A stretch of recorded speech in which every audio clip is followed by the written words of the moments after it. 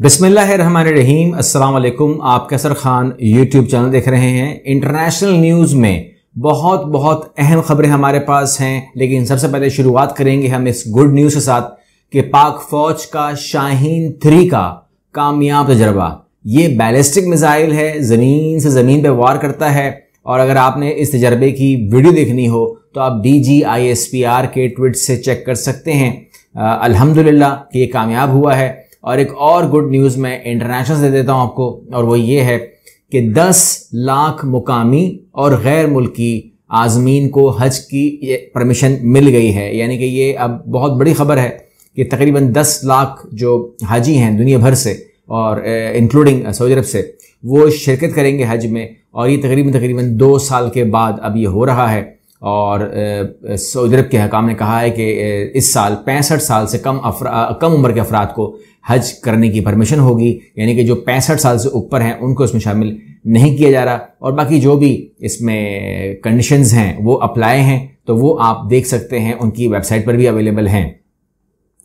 अब मामला चलाते हैं आगे, क्या सूरत हाल है? सूरत हाल ये है कि पाकिस्तान से जो खबर आ रही है, वो ये है कि जो इंटरनेशनल खबर कर रहा है, वो इसलिए आपको बता रहा हूँ मैं, वो ये कि गैर कानूनी फंडिंग केस में हाफिज सईद को 31 साल की सज़ा सुना दी गई है। हाफिज सईद केस का फैसला हो गया है।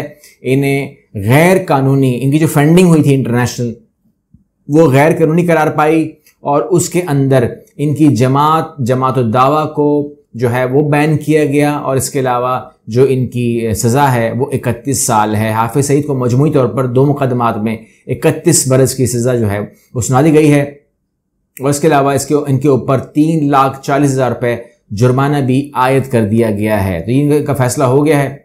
आगे चलते हैं और बात करते हैं हम यूक्रेन के हवाले से। यूक्रेन के हवाले से ये है कि रूस का ऑपरेशन जारी है। उन्होंने यही बताया कि इसको ऑपरेशन कहा जाए। ऑपरेशन जारी है। लेकिन अब जो है, एक बहुत बड़ी खबर निकल कर आ रही है, और वो ये है कि यूक्रेन जो है, वो ख़तरनाक केमिकल अटैक कर सकता है रशिया के ऊपर। अमेरिका के ताउन से ऐसा रूस का मानना है। और यहाँ पर रूस ने कहा है कि ठोस इतलात हैं कि यूक्रेन अमेरिका की हिमायत से एक स्टाल अंगेज केमियाई हमले की तैयारी कर रहा है बयाना में सिक्योरिटी और असला कंट्रोल मज़ाक में शरीक रूसी नुमाइंदे ने कहा कि हमारे पास ऐसी ठोस इतलात मौजूद हैं जिनसे पता चलता है कि यूक्रेन बैरूनी मदाखलत से एक केमियाई हमले की तैयारी कर रहा है और रूसी वजारत दफ़ा ने भी ये भी कहा क्लोरीन जैसे जहरीले मवाद के इलाके में मौजूदगी की तस्दीक की है और रूसी वजारत दफ़ा के तर्जुमान का कहना है कि यूक्रेनी फोरम फोर्स ने जो वहाँ पर जो केमिकल है, उसके 120 टन क्लोरीन वहाँ पर हासिल की है। यानी कि केमिकल वेपन है वहाँ पर मौजूद। केमिकल वेपन का इस्तेमाल जो है, रूस समझता है कि उसके ख़िलाफ़ हो जाएगा और रूस का ऐसा मानना है कि ये जो इकदाम है, ये ताउन से होगा यूएस के। ऐसा रूस का कहना है। अब जो खबर हम आपसे शेयर करने जा रहे हैं वो वर्ल्ड वाइड कंसर्न की है। यानी कि दुनिया भर का ऐसे बहुत सारे मसले हैं जहाँ पर दुनिया जो है, वो जुड़ी हुई है। और वो इस खबर पर भी जुड़ी हुई है कि जहाँ पर हम ये बात कर रहे हैं कि दुनिया भर में खुराक की जो कीमतें हैं, वो बुलंद तरीन सतह पर पहुँच चुकी हैं। ये अकवाम मुतहदा की रिपोर्ट है कि दुनिया भर में खुराक क्या है जो आप तस्वीर भी देख रहे होंगे, खुराक क्या है? आपकी जो ज़रूरी अशियाँ हैं, जो आप खुराक में इस्तेमाल करते हैं खाने पीने की, जिसमें चावल, दाल, आटे, यानी कि अल्लाह ना करे, लेकिन आज ऐसा कोई वाक़ नहीं होता कि अगर आप घर, कहीं पर आटा ख़रीद रहे हैं और आप घर आ रहे हों तो आपको डर नहीं लगता कि कोई मेरे हाथ से आटा छीन लेगा।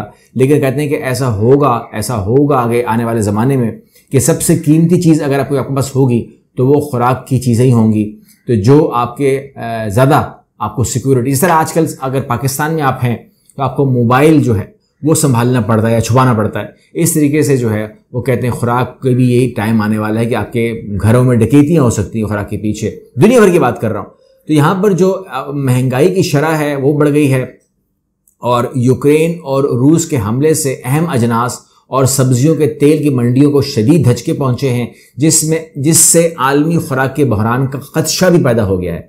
तो बहरान बहुत ख़तरनाक बात है और ये रिपोर्ट जो है कहती है कि मार्च में, फरवरी के मुकाबले में आलमी खुराक की कीमतों में बारह अशारिया छः फ़ीसद इजाफा हो चुका है। यानी कि एक महीना क्रॉस हुआ और ये बारह अशारिया छः और गुजशत बरस से रवा बरस, फरवरी तक सालाना इजाफा सत्ताईस अशारिया सात फ़ीसद ये बहुत ज़्यादा सत्ताईस बहुत ज़्यादा है। और फ़ूड एंड एग्रीकल्चर ऑर्गेनाइजेशन ने खुराक की किल्लत का खदशा ज़ाहिर करते हुए कहा कि खुराक की कीमतों में होशरबा इजाफे से गरीब ममालिक ख़ास तौर पर अफ्रीका और मशरक वस्ती, मुतासर होंगे।